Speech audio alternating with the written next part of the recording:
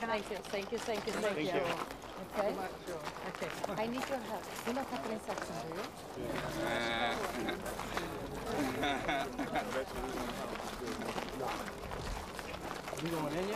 I'm enjoying it this year more than I, I did last year, to be honest. I think everybody has stepped up and brought a lot of sexiness to the table going into 2000. You've got your own uh, clothesline, I believe. Yes, I do. What's what's the reason for you being here? What do you get out of it yourself? Um, I just love all types of fashion. My stuff is more urban, high fashion. Caters more to the um, the urban energy of the world. But um, I love I love all sorts of fashion. It's a way of expression.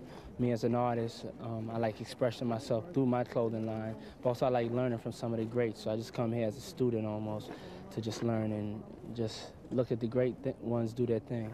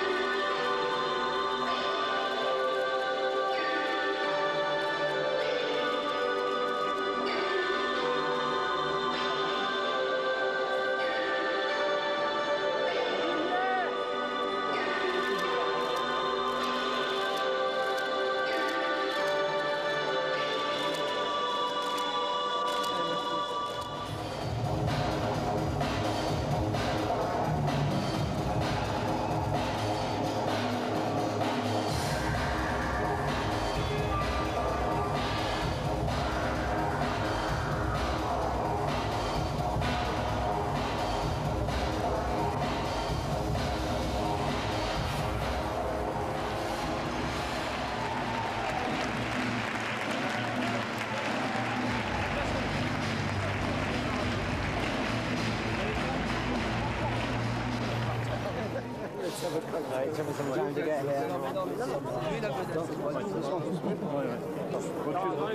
amazed by your, your body. Hi. Beautiful colours. So what was all that hunting there? John is most interesting. He's extremely talented, very creative.